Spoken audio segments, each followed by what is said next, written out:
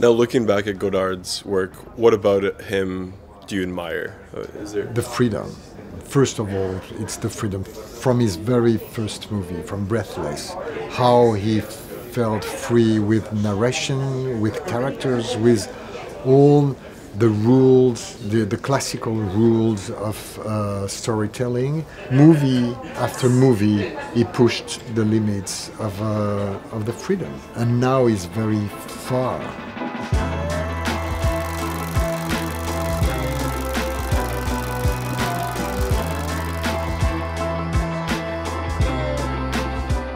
My first uh, contact with this movie was the reading of the books uh, wrote by Anne Wiazemsky, his ex-wife and actress. The challenge was to find the right balance between comedy and tragedy, between um, reverence and irreverence, and the distance in the narration and the empathy for the characters. It was all a question of balance.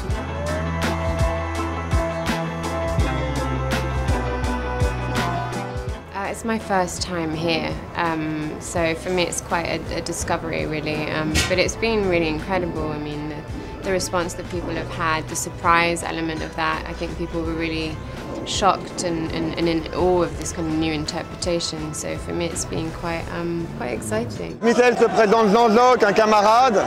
Puis Jean-Jacques se présente Michel Cournot, qui est critique, cinéaste, qui a réalisé un film qui s'appelle Les Gauloises Bleues.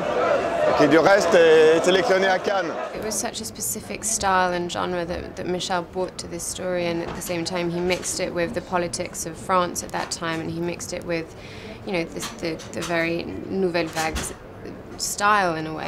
Faut être complètement con pour aller à Cannes cette année avec tout ce qui se passe en ce moment. ça c'est comique ça.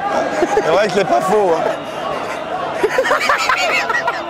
when we were making the movie, I could see that people were very curious about what what why, what are you going to do, you know, with this double reputation of uh, uh, Jean-Luc Godard, which is a myth, like a legend, like a revolutionary artist, and then also with the reputation of, of some somebody who is maybe too much intellectual for people.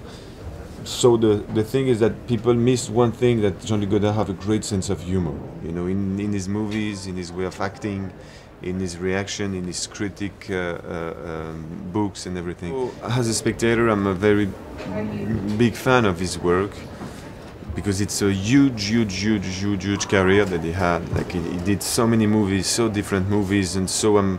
I'm coming back to Godard movies a lot of time because it's so important, you know, the way made movies change completely the, the cinematographic language for everyone.